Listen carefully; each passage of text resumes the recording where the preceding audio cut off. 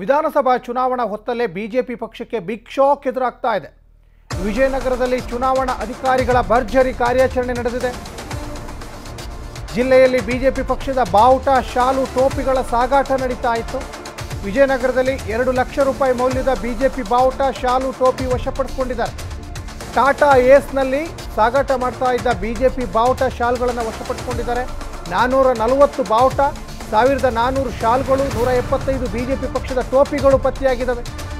ಚುನಾವಣಾಧಿಕಾರಿಗಳ ದೂರಿನ ಮೇಲೆ ಕಮಲಾಪುರ ಠಾಣೆಯಲ್ಲಿ ಕೇಸ್ ಕೂಡ ದಾಖಲಾಗಿದೆ.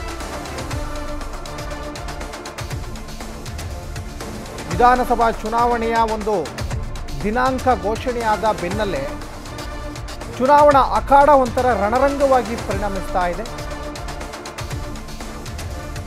ಇನ್ನು ರಾಜಕೀಯ ನಾಯಕರು ಸಮರಾಭ್ಯಾಸದಲ್ಲಿ ಒಂದು ಕಡೆ ತೊಡಗಿದ್ದಾರೆ ಚಕ್ರವ್ಯೂಹವನ್ನು ಭೇದಿಸಲಿಕ್ಕೆ ರಾಜಕಾರಣಿಗಳು ಅವರದೇ ಆದಂತಹ ಒಂದು ಶೈಲಿಯಲ್ಲಿ ಕಸರತ್ತುಗಳನ್ನು ಕೂಡ ನಡೆಸ್ತಾ ಇದ್ದಾರೆ. ಅದರ ಬೆನ್ನಲ್ಲೇ ಈಗ ಬಿ ಜೆ ಪಿ ಪಕ್ಷದ ಬಾವುಟಗಳು, ಟೋಪಿಗಳು ಎಲ್ಲವನ್ನು ಕೂಡ ಈಗ ಚುನಾವಣಾಧಿಕಾರಿಗಳು ಸಾಗಾಟ ಮಾಡ್ತಾ ಇದ್ದಂತಹ ಸಂದರ್ಭದಲ್ಲಿ ವಶಪಡಿಸಿಕೊಂಡಿದ್ದಾರೆ.